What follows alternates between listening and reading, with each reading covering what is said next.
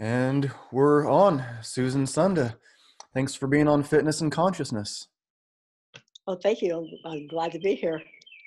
Thank you. So I um, found out about you. I, I know your son from uh, White Pine Wilderness Academy.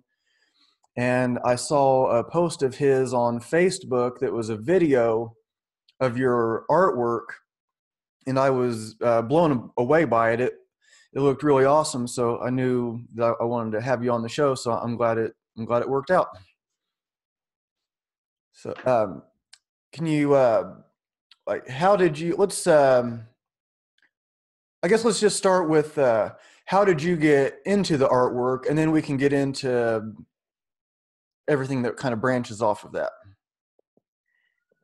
I grew up and I knew that I loved to draw. I was drawing, drawing, drawing all the time when I was a little girl. And when I was five years old, I said, I'm going to be an artist when I grow up, which was a way a lifesaver because I went to school and I could not read. And this, they put me in the class over here of non-readers, and I just failed the third grade.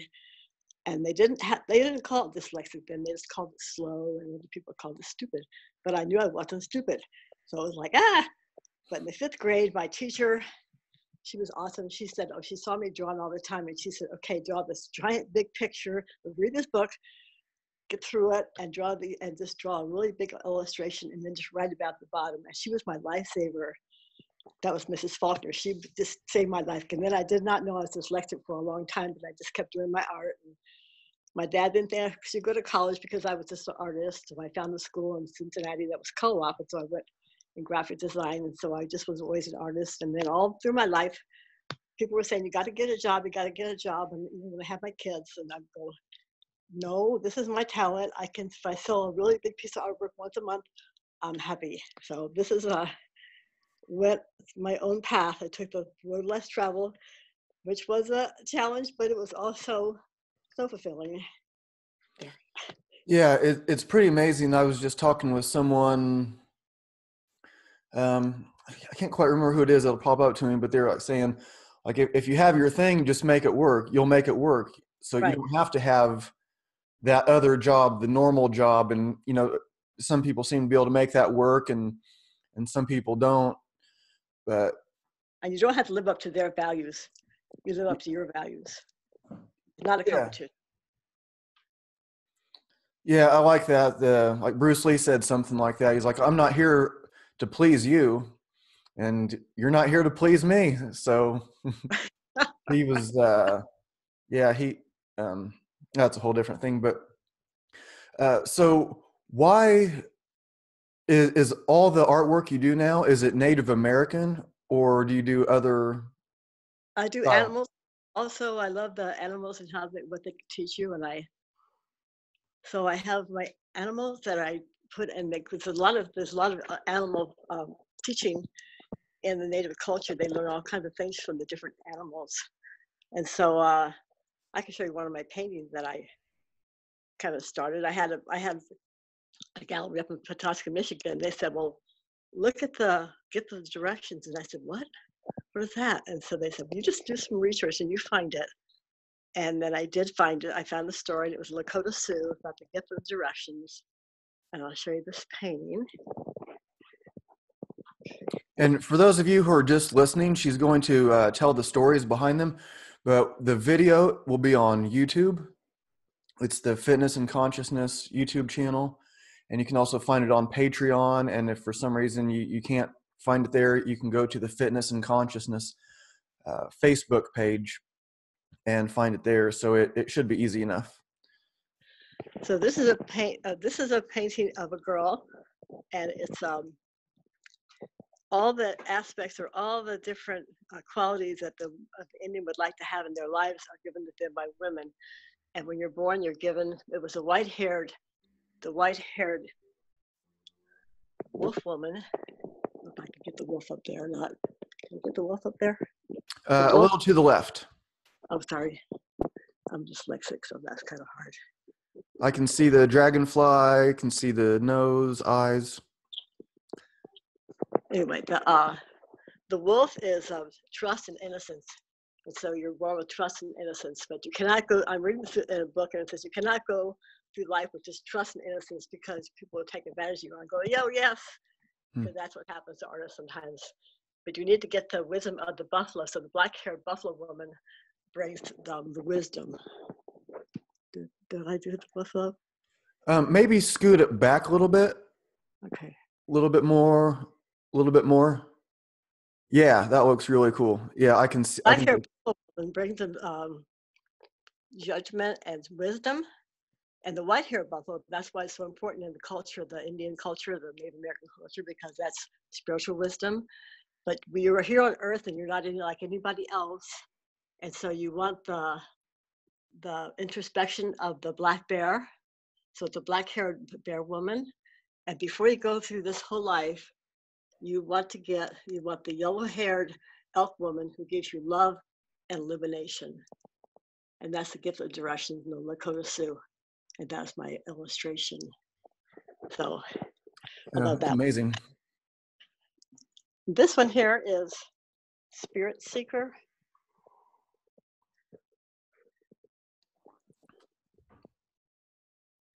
Spirit Perfect. Seeker.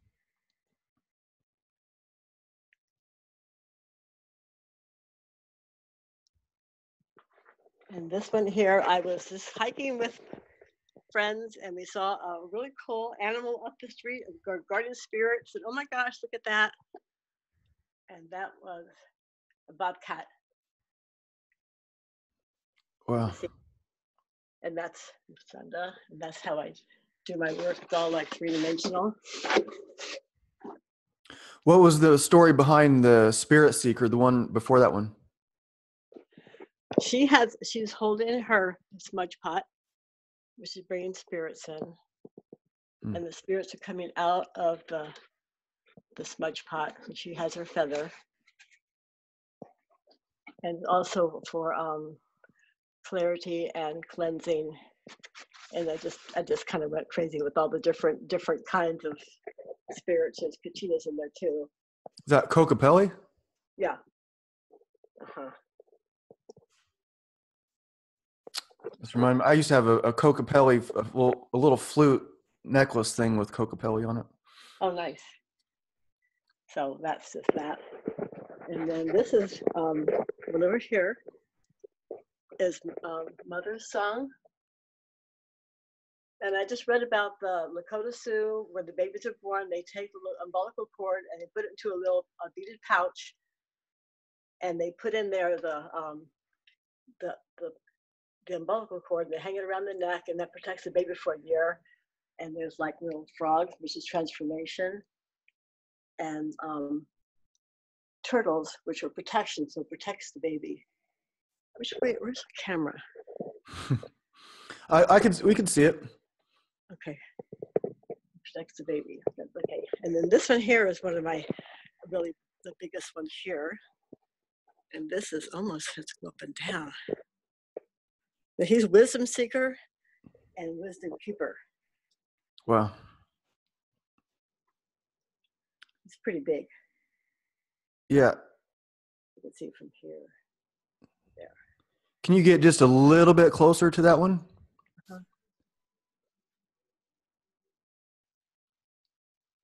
This one I had a rock. I usually use tools, and this one had a rock that was so cool because I could do my, I could take my rock and I could hit my my um, leather on a rock with a rock, and so he's in a rock, but he's. Can you see the different, all the different cool little textures? Yeah. Wow. That was cool.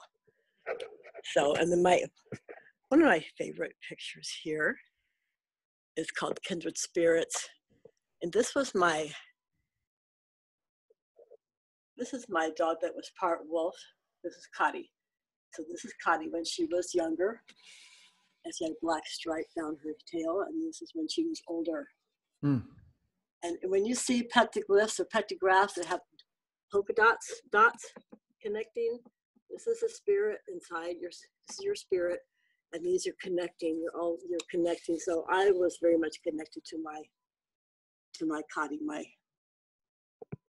my partial wolf. What does Cotty mean? That was her name. Is, That does was- it have a? Ivor Wolf. She was part um, Latin Malamute, and I had to teach her that I was alpha because you know that's one thing that when there's a beta, there's a omega, which is the lower. They want they like to know where they are in the pack, then they're comfortable. Um, even with your dog, because you are a pack when you have a dog, that you want to be alpha. You don't want them to be the boss, and, and the beta is right beyond the behind the alpha, and they're always trying to. Is this today I could be alpha? No. so, like feed my dog. I had to, you know, put the dog and put the food in the dog food in the put the food in my hand and feed her. And so I just didn't put pour food down and I'd lay on top of her and make sure she didn't try to get out or just kind of bite her neck sometime, which is kind of furry. But it was it worked. So that was so that I, I was in the, the inner city of Indianapolis in my little Honda hatchback and I could go visit my friends in the inner city and I could go to any neighborhood I wanted to, and I felt safe. Mm. And my friends would say, "Oh, don't forget to bring your dog." so that was that was really cool. That's a bad note. That's why I had her because I felt really safe in my house, in my hundred-year-old house in, in in the inner city of Indianapolis. So it it was very cool, and I could go on hikes and stuff and not have any fear. That was nice. yeah, we found out that when we talked the other day that you're talking about the house on uh, Washington Boulevard. Right? Yeah. Yeah, we found out that we were pretty much neighbors. That you know Yeah. maybe maybe some years apart, but And then right next door. yeah. That's true. Yeah, I had an Alaskan Malamute too, but I think he was the alpha. I'm, I'm pretty sure I was the. I'm pretty sure he was the boss. He seemed to he- do whatever he wanted to, and They like to be alpha. The his name was trying to be alpha. So yeah. yeah, his name was Freedom Spirit, Oh, and so I. uh it's, it's like when I had him, I, I kind of I didn't want him to do a bunch of like tricks and stuff. I wanted him to just be a dog. Oh yeah. I'm a human. He's a dog. He's not there to do tricks for me, like lay down, roll over, and so I wanted him to be kind of as wild as he could be, and uh, but also, I mean, he was nice. Like he wouldn't really bite people or anything, but it was uh, it was an interesting way of raising a dog. Well, I, I do Airbnb, and someone brought a dog in to, to exchange a dog, and it was a Labradoodle, and they were sending it to people, this young couple, IT people in um, California, and he sat outside in the summertime, and he went through like 30 different commands, and just didn't say good dog, he just gave them little pieces of food, little street things, and I was like, oh no, this is their pet what are you doing? And so I said, let's go for a walk. And so I was trying to get her to walk. She kept on stopping the dog, and I was going, ah. And then I, I said, let's go, let's go faster forward. And I said, this is your dog. This is your family. Talk to your dog, please. And then she hugged me and said, thank you. Ah, Hmm. ah. ah. Because that was so sad that they were, she was just trying to go with what the the trainer had just trained this dog to do all kinds of things for her or you know it's kind of sad so i hope she learned something yeah, yeah, it's like a fine balance of figuring out like what the dog should be. It has to be like somewhat controlled. Yeah. not 30 things Yeah, God. oh my goodness yeah. oh i wanted to talk about the um because i'm a cub scout leader i love being a cub scout leader i'm a cub scout leader of nine year olds and so they're not like kids anymore so much and they're not like into that culture of teenager person yet and i love to um we love i love to make things with them and talk about i like to talk about the indians that lived up here because i live in the um, ogden valley which is Snowbasin is my let's see outside i have a really awesome view. Let's see Oh wow. the view from my house. I walked into this house. It had one big window wall, and I came over and said, "I love this house." And the realtor said, "You haven't seen the house," and I said, "I don't care. This is my organic garden. I do away for winter time." Um, and I said, "This, oh, this is the house. The house is, the house is this window. So Mm. That was nice. So I so I wanted to teach the, the, my Cub Scouts about the Indians that lived here and compare our way to their way. And I kind of went through a whole bunch of things that were how they lived in the world and how we live in the world. And their way is being one with nature. Our way is to rule over nature. Their way is to be steward to the land, and our, our way is to be ownership, have ownership. When the settlers came over here, they put up fences, and the, and the Lakota Sioux, the Indians, did not have, they did not own land. It was very, they were very confused about that. Um, they also conserved re- their resources, and we have a thing about consumption of resources. Um, they are wisdom seekers. We are information seekers. More information, more information. What I learned, what I learned. Um, there's this cooperation, ours is competition. We learn that in school, competition. Um, and, and even in our sports, competition. Um, they're giving and sharing, and ours is saving and keeping. Hmm. Uh, there's this respect for elders, and ours, us old people, we are we are invisible. Actually, they have a disregard for elders. Um, they had new, good nutrition and didn't have to read about it. They just they found this these awesome raw, uh, wild foods, medicines that we're now just discovering or rediscovering. And ours is from going to any kind of store, which I don't go to, is poor nutrition. Mm. Um, they have few diseases. We have many diseases, which we doctor, but with meds. If they had diseases, they're healing. It was a healing of body, mind, and spirit. So I try to teach that. I, I, for a while there, wasn't even in the scout book, but I just kind of added it because it was so important to the uh, young people to learn this. So there, isn't that cool? Yeah, yeah. It it's it's amazing, and like, I think the kids are they're ready for that stuff. They, I would think that they're like most of them would be just receptive from it because just at, at working at White Pine, and I'm I'm a strength and conditioning trainer there. I'm not the wilderness survival expert, but I have like taught classes where you know, and I'm you know teaching kids how to make fire, and they're making the uh, they're shaving or uh, like whittling wood shavings, and then using that to start their own fire, and um, like, and then so they might be like seven years old, eight years old, nine years old. they're using a knife with a four or five inch blade or whatever it is, and then they're making a fire with um, the flint striker, and so these are like little kids and then i work at so i have like a I, I do a few different things but Uh-oh.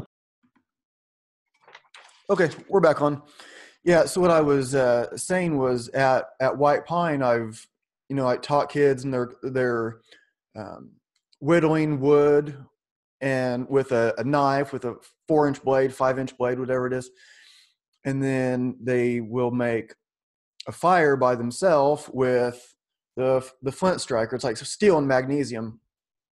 Right. And these are kids. These are little kids. But I have a couple jobs. I have what I call my job job. I work at this place on on a machine, and we have like these razor knives.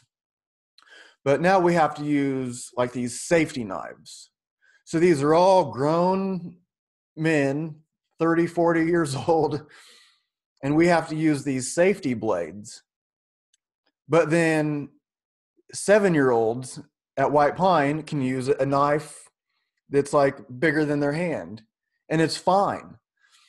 So it's, Right. it's I know I understand like why they do it because like corporate stuff they want to like eliminate there's like a hierarchy of like safety stuff so you can if there's a safety problem you, if you can eliminate it you just get rid of it and then if you can't get rid of it then there's training and then if there's you know so there's like this but i guess people in like other other uh parts of the business were uh cutting themselves with this with the razor knives and so now everybody has to use a safety blade and they don't work as well and it's like there's this so then i would imagine so getting back to like you're teaching these cub scouts or boy scouts these different things you find that they're like it's just kind of like in their dna because that's what i found like at white pine this stuff is just like in their dna to to do this they can focus on it and like some of the parents have said like when we were when we had our uh, uh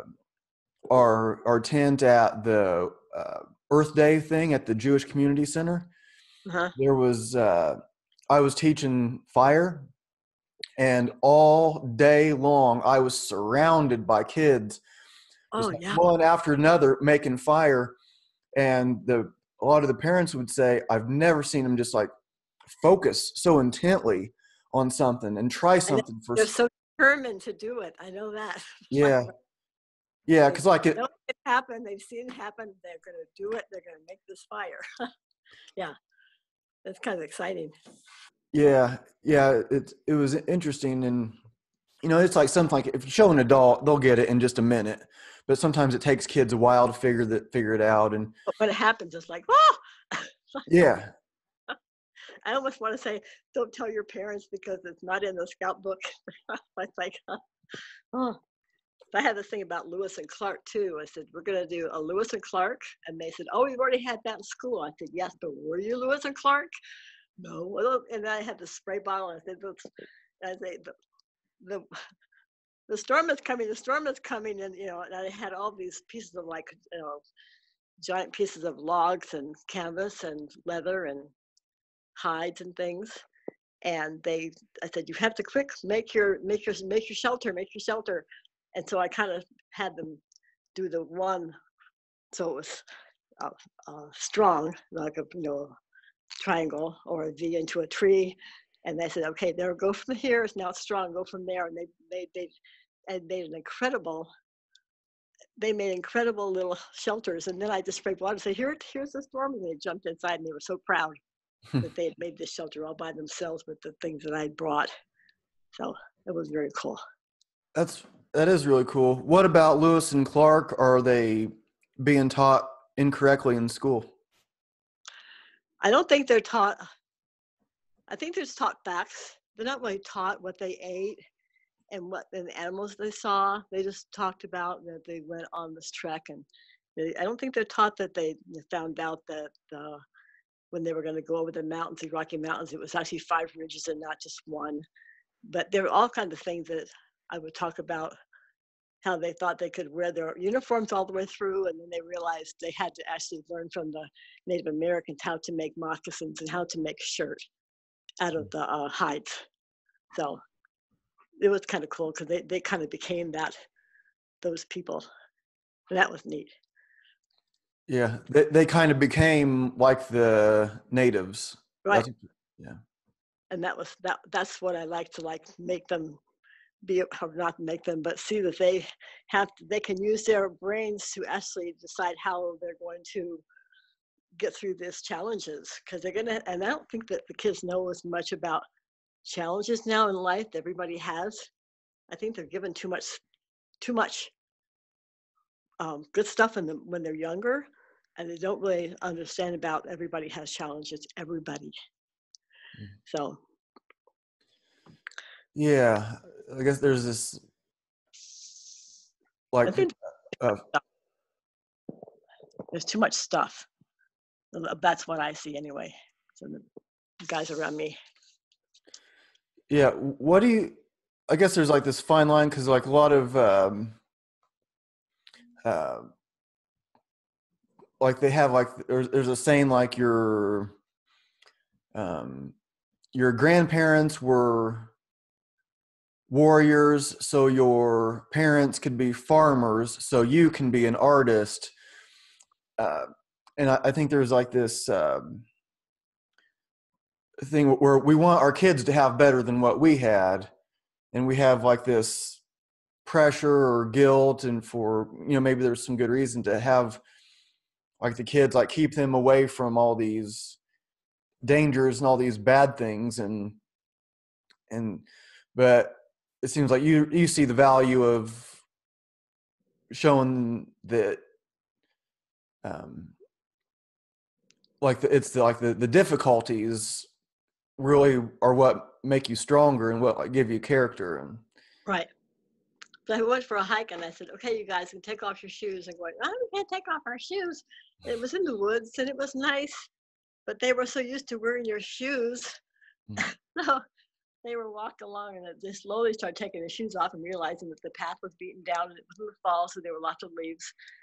And then uh, another person walked by and they said, and then the mother explained to the daughter, oh, it's probably because they got their shoes wet. Hmm. That's why they took their feet shoes off. But then they, I was talking to them about grounding and how important that is. That we're not, you know, we're just not connected to the earth anymore. And I still go barefoot all the time, much as I can. yeah and you were saying like before we started recording you said you're you're 76 Yeah, uh huh. and you're on zero prescriptions I don't have any medications. I just eat good food. I have an organic garden.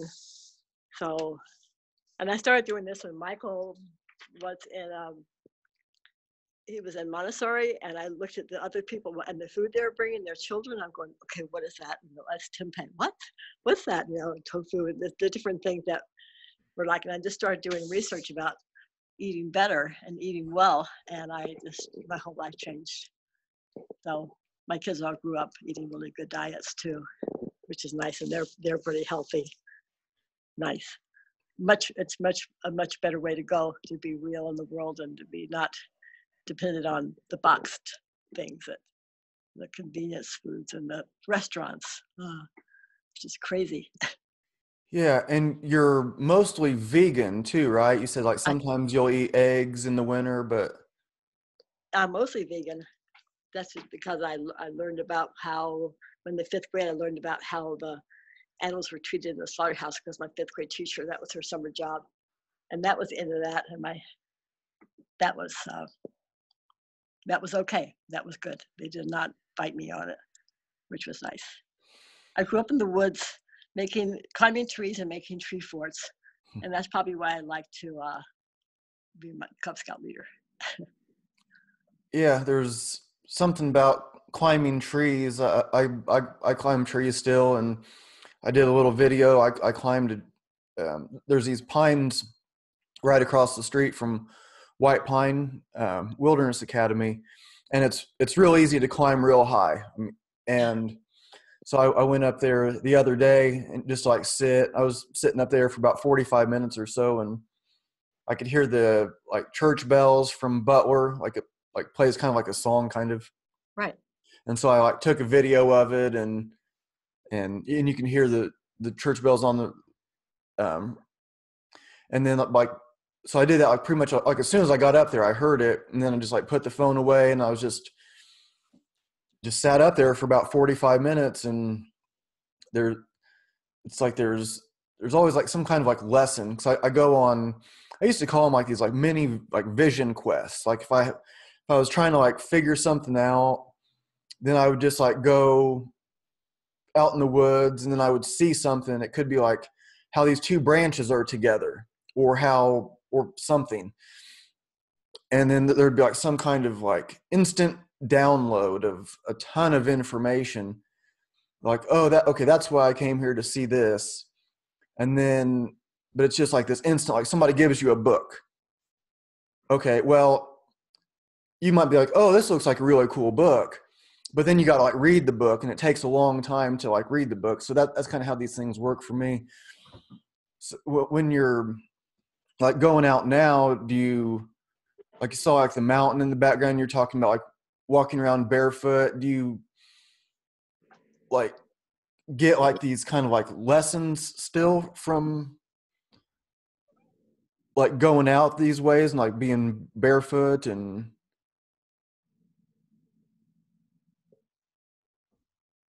can you hear me Yeah, I can hear you. okay yeah that those paintings are really neat There's a lot of people that still don't get about the barefoot thing.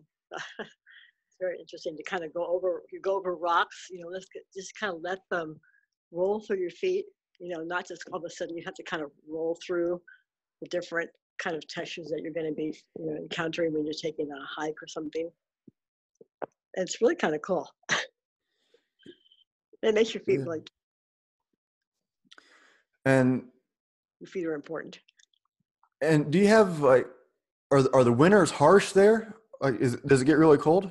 It, it gets really cold. It's surprisingly, it's not been. It's only up in the mountains a little bit of snow, but once it starts snowing, which is going to be probably next week, and it stays snowy all winter, but it doesn't really go below zero. So it it gets it gets cold. It gets cold and stays until until the March. So it's very short.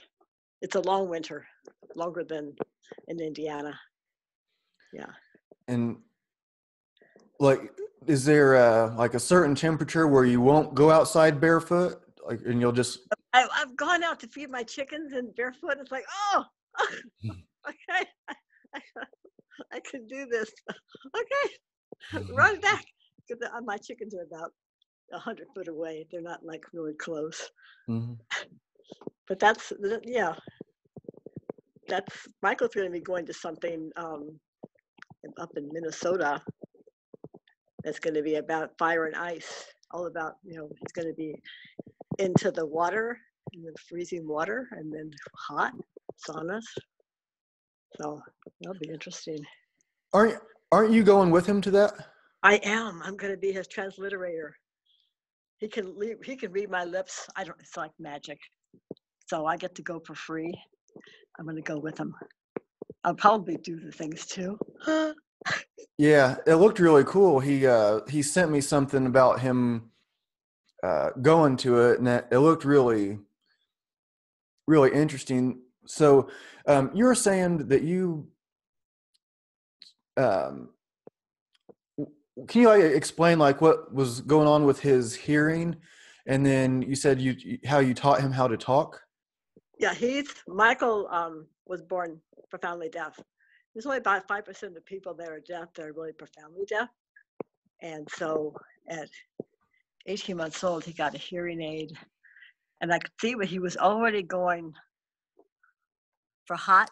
If i you know take like a piece of toast he'd go you could see that your mouth was making something and slowly slowly i would just every talk and talk and talk and talk and talk.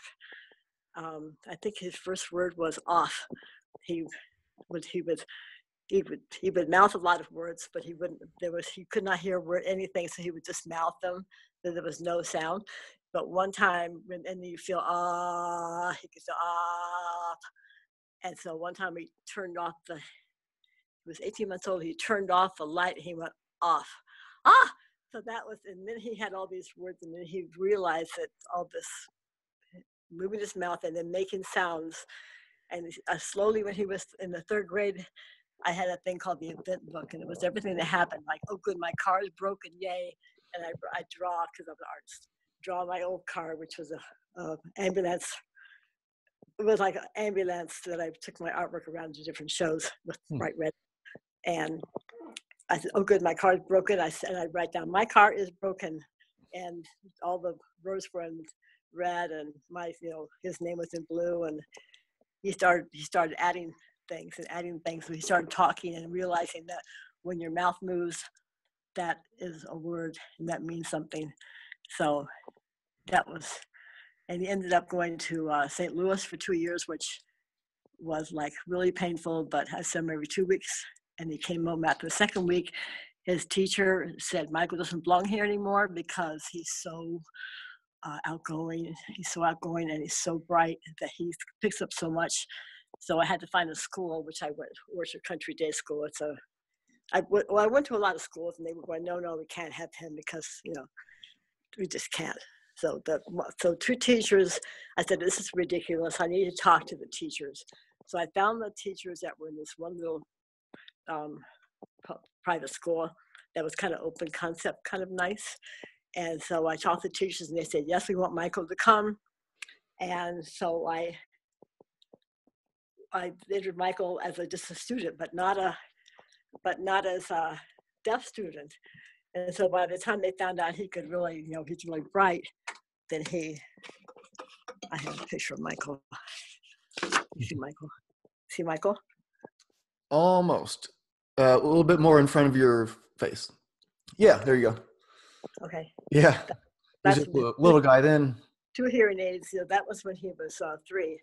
So he so he came back to school and he came back to a regular school and he had a tutor and he went to a regular uh, regular junior high, which was kind of wild because he was kind of caught in the in the um, busing, so he was sent out west to a lot of kids that didn't understand him for junior high, but then he went to um, Jesuit High School, and that was, and then he also ended up in Purdue in engineering, and now he's a biomedical engineer and uh, oh. voyager and a um, uh, Earth person. so. Yeah, I didn't know he was a biomedical engineer. I had I had no idea. I know he does a lot of um, like wild uh, food gathering. That's and, what he does. That's his um, real world. His his making money world is a biomedical engineer. So, wow. Eli, well, not Eli Lilly, but um, what's it called? Uh, anyway, the, they make hospital equipment. You know, like Roche or something? Um, no, Hillrom. Okay. Yeah, that's wow. hospital equipment. So he's always testing out new equipment for them. Well, that's that's really cool. So, do you think, um, like, part of your, cause like you were saying, like the, you know, part of him growing up, so he has that as a, you know, something difficult to get through, and then your just your determination to make it just as an artist, and then so like sometimes um, like you said, something like you know the house was kind of falling apart, and you have like these things going wrong. Do you think like all that together made it so he could? Because he is like really outgoing, and, and you could see um, how somebody that might have that might be deaf, maybe they don't want to talk, but he does talk. He is yeah. outgoing. People and the and the people that with sign did not want to talk to Michael at all. Did not want to have anything to do with him because he was he. They said he was denying his culture so he was kind of like uh, his own little pioneer. And I never, I never said he was um, deaf. I was said he had a challenge. And then when people would be mean to him, I said, you know, that's their challenge too. He said, why is this person so mean to me or, you know, make fun of me? I said, that's their challenge. A lot of people can't see what their challenge is. But their challenge might be that they have to have more compassion with others. You know, a lot of people have challenges and you don't know what they are. Mm. And he thought that was really cool. So yeah, that that can be a tough one for for people too. That's you know the like maybe somebody has like some kind of uh, or maybe it's like a racist or maybe it's a a bully of whatever sort to like see them as they're just like you they're they have like these challenges and so if somebody has something that's as appalling as like being a racist or something like that to like well that's you know still one of us it's still part of our overcome what they were taught when they were a little boy a little girl mm-hmm. you know they were taught these things it didn't happen when they were little you know this mm-hmm. you're kind of you're kind of taught that so michael's favorite michael's best friend was uh, biracial so that was that was really cool because he also had challenges too. Yeah, doesn't you know like not quite fit into either world kind of thing. Right. That's interesting that you, like you said like the the the other like uh, deaf kids wouldn't ex- didn't want to accept him because he was talking. Did, right. That, that seems so I wouldn't have thought of that. That they would have some kind of problem. Parents too. Their parents were like also, oh no no no, because we were like denying Michael's deafness by teaching him how to talk. And in the fourth grade, Michael Michael had learned some signs, and he was going, "I am not signing," and he got so much um, grief from his aunts and uncles and different people in the family that said, You're denying what Michael needs to have. And I said, Michael is making this decision. He said, He's only in the fourth grade. I said, Michael knows what he wants. This is what he wants. You know, you know, when Michael was in the seventh grade, he wanted to be an entrepreneur. That was then how do you know that word? so he was very uh, uh, self-actualized you know, very always looking to see what the challenges were, accepting challenges and going from there. So he doesn't use sign language? No. And so I, I knew him originally from, he's been to like my workshops uh, for like uh, strength work, workshops. And and uh, Matt Scholl, the owner of White Pine, I know that he went as his translator um, to a, a, Rafe Kelly uh, workshop. Um, he's like a movement guy. I don't know if you know who he is, but I, uh, Matt was telling me about it. I was like, "Oh, you speak sign language?" And Matt was like, "No." He's like, "He just reads lips." And I was like, "Okay, that's cool." But I didn't. I didn't know that he did not know sign language. And when like Kristen um, would come as his interpreter to my workshops, mm-hmm. I knew that she was like he was just like watching her speak after I, I would say something, and then she was talking to him, and uh, I didn't realize that maybe she was not doing sign language also, or I guess it didn't click. But that was um, why was he so adamant about not learning that also? That wasn't his friends. That were he was around people that were talking so I went to deaf school. I took him to deaf school when he was three, and he was it's about uh, two miles from my house. And he went through a whole book, three whole books of lip reading, lip reading, lip reading, and the only word that he didn't know was skirt. And I said, "That's because I don't wear one. I'm always on the floor with Michael with my pants on. I, mean, I didn't really have a, I didn't really wear a skirt, so he didn't even know that word. So he said, you know, he doesn't. Michael doesn't belong here. And I said, Well, where does he belong? He said, Well, there's a school in St. Louis that he can go to. So I, that was kind of painful and that was really hard. And I finally ended up talking to people that had uh, sent their kids there. And they said that was the best thing that they'd ever done. They came home every two weeks on the airplane, and Michael was only there for two years. And then his, his teacher said, Michael doesn't belong here. He's ready to go to a regular school. So I did find a tutor, and I found a school that was like really wanted to have Michael, so that was awesome. Yeah. Yay. That's, really cool. so there's there's lip reading books. There's books that teach you how to lip read. I mean, I guess that makes uh-huh. sense. There's books on everything, but I didn't. I never. I don't know about lip reading. There's a. Uh, Alexander Graham Bell, when he was 18 months old, had a thing about, you know, okay, we're going to talk about shoes. This is a shoe, and that's a shoe. Well, over here, that's a shoe.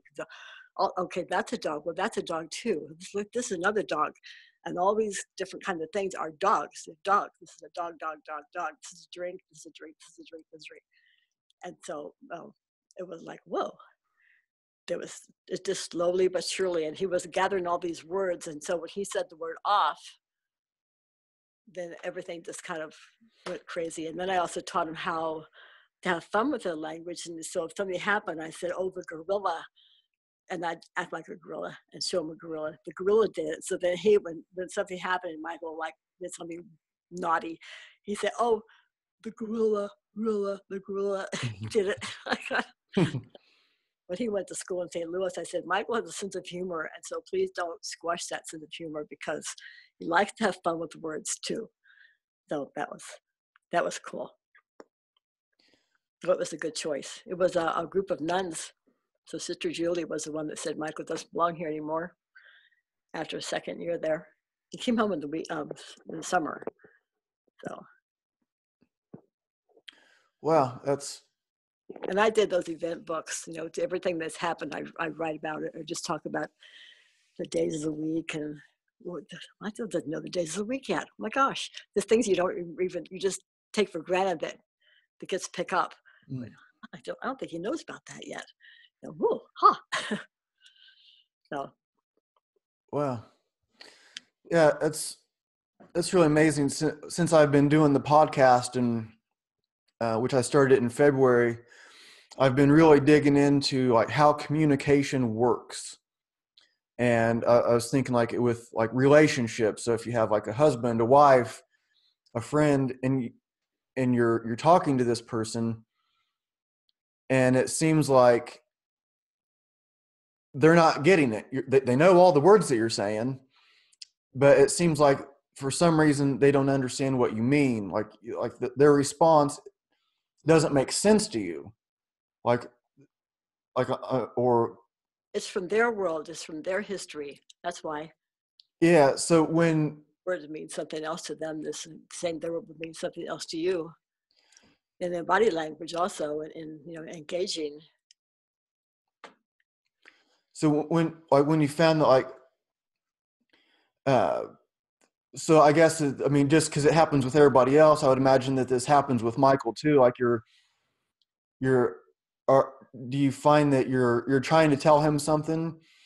And maybe he knows all the words that you're saying but or that maybe he's like missing something here and there and then do you is there do you think there's more miscommunication? Or do you think he just pretty much gets it or that there's even maybe even more understanding because he's looking at you just as much as he's i mean maybe not listening. Like i guess just i don't know what how to ask the question exactly but like is there a lot of miscommunication or do you think he um not really. I think we're both pretty much real when we talk and so we don't use as many words as much and we make, make sure the other person understands what we're saying. So hmm. and he's you know he's looking at your whole face when you're talking. You can't just um, look at your mouth and he really has trouble when people have mustaches because then they've a lot of times they've covered up their mouth so hmm. and i read it all i mean if if i knew you were going to say i love you and you said I would know what you said, but otherwise, eh. Hmm. It's, it's a it's a gift. He just has a gift. So. Yeah, that's that's pretty pretty amazing, really, how it all how that works out because he is a he is so interesting. He's so like outgoing, as you were saying. He's always doing something. Every time I um, like flipping through Facebook or something like that, he's always going to some new seminar or workshop. He's always doing like some outdoorsy thing with a bunch of people around, and he seems to be, I just surround himself with um, people that like r- really understand and that are like trying to. Uh, he's very outgoing. He always has been, so that's kind of awesome. yeah. yeah yeah, very cool. Um, well, I'm um, about out of questions for you. I could kind of like dig into this stuff for a long time. Is there anything else that you're wanting to talk about before we? I to say really fast. I was um, a physical, being very physical is very important to me, and I was on a women's rowing team for um, 20 years. Actually, competitive rowing for 20 years. I still have a, a shell, which I row on the lake, a little shell, and we we, was um, Eli Lilly had bought a bunch of boats in, in, Indianapolis, and so we had we had, and then the Purdue people came down and taught us how to talk, how to row, and then we had a coach come down that was from Philadelphia. So we went to all kinds of rowing things, and my daughter's now. I got Michael into the boat. He was like, "This is not fun." Because hmm. he couldn't hear, know when to stop and when to go, and uh, but um, my daughter's now doing it right now and she's uh, fell in love with it and she's in northern michigan she's trying to get me to move up there but i love it here and uh, i think that's all yeah yeah that's yeah my i have a niece that she was into competitive rowing and um, like eagle creek park she was yeah. from ohio but they traveled all over we started we started we actually started the club and um, we were working on it. We just, we went to meetings and they said, okay, you're at the meeting, so you have to have to. You're going to be doing Mother's Row, and you're going to actually be putting the, the club together. So that was awesome. I know they're still rowing. That's yay. Yeah. Yeah. And it's awesome to be out in the in the woods and row instead of being you know in a city. It's much different. You can go early in the morning and see all kinds of animals and things and mm-hmm. beavers scurrying around and egrets and eagles and things. It's very yeah. Cool. Yeah, that's really really cool. Uh, so, how can uh, if people want to check out more of your art and uh, or buy it, how do they get a hold of you? How do they find it? Ah, uh, I'm I'm I'm just starting an Instagram thing right now, and I have to get more savvy with that. So I have Instagram and it's under Sunda, S U N D A. Otherwise, I have my Facebook, which is Susan Sunda Martian, but I'm changing my last name. Okay. Yeah, I'll put a link to your. Uh, I put a link to your Facebook in uh, when I share it, and then Okay. people can like figure it out. And um, so it's it's all uh, like you do everything on leather. So you're doing. Um, I have to work with my hands. I started doing painting, but it was like, ah, then I discovered leather and I just started tooling. And I did a whole series of Shakespeare many years ago. And that was really cool. But I, I have to work with my hands. So that's why I do the leather. Yeah. So it's you're uh, you're using tools to like shape Lots of- leather, like to. I'm tooling it like you would tool a saddle, but no, it's totally different. And then I and then I mold it and then I glue it onto a board because it's got um, three dimension to it. And I then that's my canvas, my paint with oils.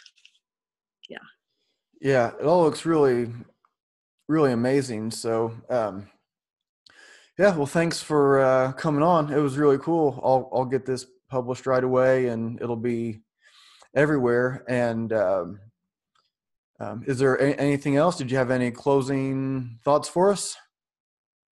Um, just just be kind, be kind to animals too. Be kind to to nature. That's you know, if you think about the Indian culture, and just try to recreate what that they've that we've kind of lost. You know, go gentle into the world, spread love, all the good hippie things. yeah, that's that makes good sense to me. So. Um, all right. Well, thank you very much. I'm going to uh, stop the recording and I'll talk to you for just a second after I hit stop. Okay, thanks, Ryan. Bye.